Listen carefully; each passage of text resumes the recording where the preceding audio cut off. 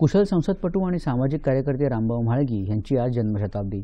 विद्यार्थी दशेत त्यांनी राष्ट्रीय स्वयंसेवक संघाचं काम करायला सुरुवात केली. एकशे एकसष्ट साली भारतीय जनसंघाच्या स्थापनेच्या वेळी त्यांनी महासचिव पद सांभाळलं. एकोणीसशे सदुसष्ट ते एकोणीसशे सत्याहत्तर या काळात ते विधानसभेत आमदार होते. आणीबाणीत त्यांनी तुरुंगवास भोगला. एकोणीसशे सत्याहत्तर आणि एकोणीसशे ऐंशीच्या लोकसभांमध्ये त्यांनी खासदारकी भूषवली. एकोणीसशे ऐंशी साली स्थापन झालेल्या भारतीय जनता पक्षाचे ते पहिले अध्यक्ष होते. त्यांच्या स्मृतिप्रित्यर्थ मुंबईत भाईंदर उत्तन इथं रामभाऊ म्हाळगी प्रबोधिनी या स्वायत्त प्रशिक्षण संस्थेची स्थापना करण्यात आली. या संस्थेत सामाजिक आणि राजनैतिक कार्यकर्त्यांना प्रशिक्षण दिलं जातं.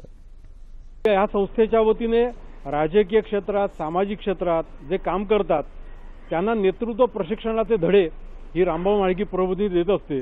त्याच्यात आज आम्ही एक नवीन उपक्रम गेल्या चार वर्षांपासून सुरू केलेला आहे. तो म्हणजे Indian institute of democratic leadership. या नावाने आम्ही एक उपक्रम सुरू केलेला आहे. राजकारणात ज्यांना करिअर करायचं आहे अशा तरुणांसाठी नवयुवकांसाठी आम्ही एक पाठ्यक्रम सुरू केलेला आहे. आणि आज त्याचं पाचवं वर्ष आहे.